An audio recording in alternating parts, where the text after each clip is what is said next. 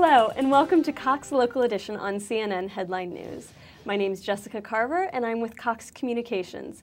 Today we have two special guests with us from the Jewish Community Center of Northern Virginia, Judy Polivy and Jill Berman, who are the co-chairs of the Across Life Spectrum workshop at the Jewish Community Center. Thank you so much for joining us today, ladies. Thanks for having us. Thank you for having us. So first of all, tell us a little bit for those people who don't know about the Jewish Community Center, where you're located and what the mission is. The Jewish Community Center of Northern Virginia is located on Little River Turnpike in Fairfax, just outside the Beltway. We offer uh, many programs for all ages, all faiths, all backgrounds. We have a health and wellness recreation program.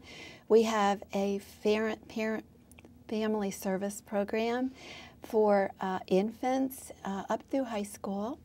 We have a very strong uh, adult, senior adult group that's very active with different social and educational programs. And we have a very strong special needs program. Tell us a little bit about that special needs program because I know that's very close to both of your hearts. In 2006, the JCC started Camp Shalom, which is a very unique uh, camp for children of school age with communication spectrum disorders. And uh, they, from that came uh, a group for social skills and communications, three groups of uh, called Going Places. One is for teens, one's for young adults, and one's for adults who are 30 plus. We also have a very strong parent group who get together regularly for support and resources.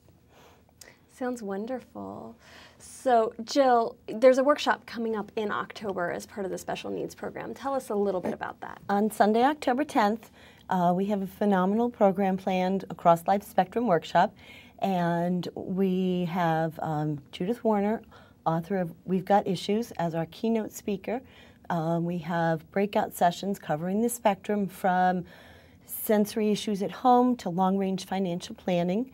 We have um, several sessions uh, with hands on opportunities to try out the latest technology and a parent panel so that parents can, um, the attendees can access the parent network.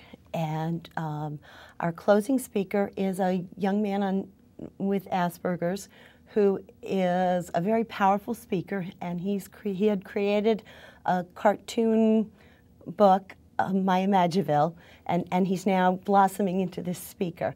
We'll have vendors available for, um, for people to see what they have, and um, it looks like it's going to be a great day. Can you give us one or two points that are coming up for the special needs program beyond that workshop?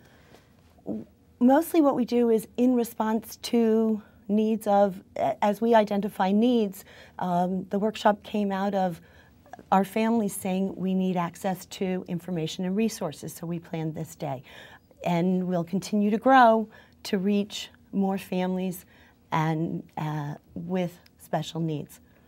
And how can our viewers find out more about the Special Needs Program and about the Jewish Community Center? Really visit the website because all of the information about the JCC and all of our programs is on that. Fantastic. Well, thank you both so much for joining us today. Thank you.